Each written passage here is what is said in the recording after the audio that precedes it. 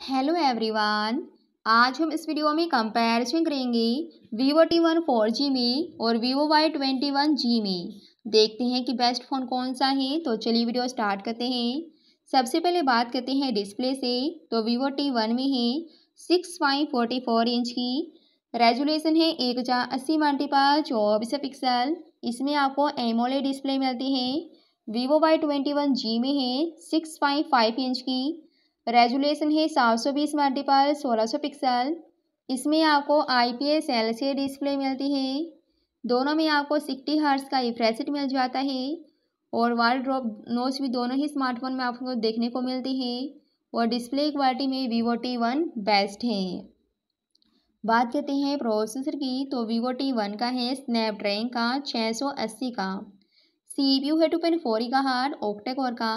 और six nanometre इसका FinFET और जी पी यू है छः सौ दस का।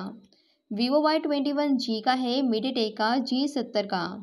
सी पी यू है टू पॉइंट ज़ीरो का हार्ड ओक्टाकोर का और ट्वेल्व नैनोमीटर इसका फिन फैट और इसका जी पी यू है जी बावन का। बात करते हैं बैक कैमरा की तो वीवो टी वन का है ट्रिपल मेन कैमरा है पचास का फ़ी टू का फ़ी टू का। वीवो वाई ट्वेंटी जी का है डोल मेन कैमरा तेरह का फ़ी टू का। फ्रंट कैमरे की बात की जाए तो वीवो टी वन का है, सोलह का वीवो वाई ट्वेंटी जी का है एट का। कैमरे की क्वालिटी में Vivo Y twenty Vivo T one best है। बात करते हैं बैटरी लाइफ की, दोनों में सेम है, पाँच हज़ार एम की। दोनों की बैटरी स्नोनेबल है, आप दोनों की बैटरी को निकाल नहीं सकते। चार्जर की बात करते हैं तो वीवो टी वन में है फोर्टी फोर वाट का। Vivo Y twenty one G में है एटीन वाट का। दोनों में आपको टाइप्स का सपोर्ट मिलता है। और फिंगरप्रिंट सेंसर और फेस लॉक भी मिल जाता है। वीवो टी वन में आपको रैम मिलती है चार जी बी छः जी बी और आठ जी बी की। Vivo Y twenty one G में है चार जी बी की। दोनों की मेमोरी सेम एक सौ अठाईस जी बी की और कनेक्टिविटी है दोनों में फोर जी की।